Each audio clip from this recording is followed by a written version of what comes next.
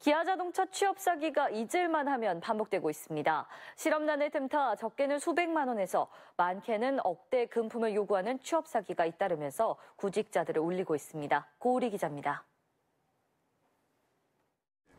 이런 방식으로 기아차 전 노조 간부인 34살 홍모 씨와 이 씨 등 4명이 지난 2010년부터 올해 10월까지 챙긴 금액은 32억 원에 이릅니다.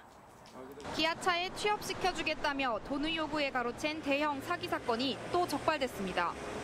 경찰은 지난 2014년 2월부터 지난해 12월까지 29명으로부터 모두 19억 원을 가로챈 49살 황모 씨를 뒤쫓고 있습니다. 황 씨는 자신이 노조 간부이기 때문에 취업을 시켜줄 수 있다고 속여 지인들로부터 3천만 원부터 1억 5천만 원씩을 받아 챙겼습니다.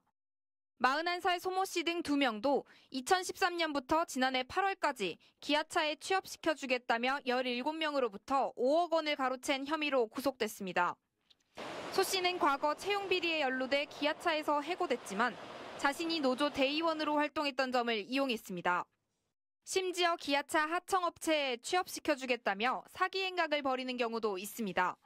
사내 하청업체에 근무하던 37살 김모 씨는 39명으로부터 13억 원을 받아 챙겼습니다.